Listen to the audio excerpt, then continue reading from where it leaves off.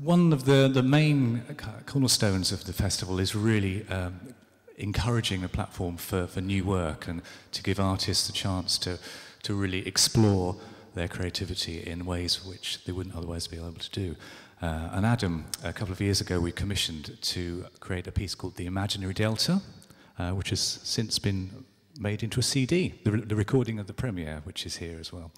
Uh, and uh, that piece were, was a wonderful kind of evening of new music. Uh, and the thing that intrigues me about Adam's work is that he's got an obvious and profound love of the, the entire jazz canon, really, and especially early jazz and blues. And he works in a really interesting way uh, with samples of early jazz and blues recordings and integrates them into what I think is a very interesting contemporary repertoire.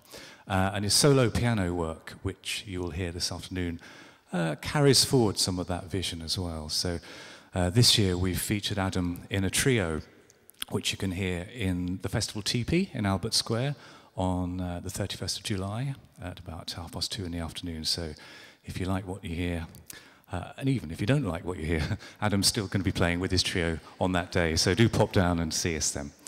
So um, please welcome the wonderful Adam Fairhall.